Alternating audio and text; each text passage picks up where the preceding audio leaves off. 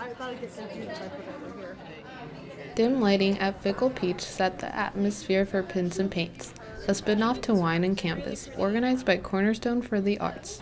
For a $25 purchase, 21-year-olds and older received a drink of their choice and a painting workshop.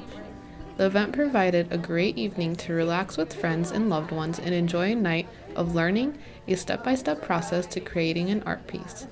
Patricia Cray, a local instructor, taught painting at Cornerstone for years and led this night's workshop. People carefully listened to Cray's instruction and painted coffee cups on tabletops along with a cupcake. The goal for painters was not to create their best masterpiece, but to explore the medium of art. Pints and Paints strives to provide education of the arts and a new experience for adults. Cray said it is neat for them to be able to paint something and get to take it home. It's just a good camaraderie kind of feeling in here. Everybody kind of gets along, they want to do it, they have fun. For one attendee, Jessica Rosales, this was her first experience at Pints and Paints.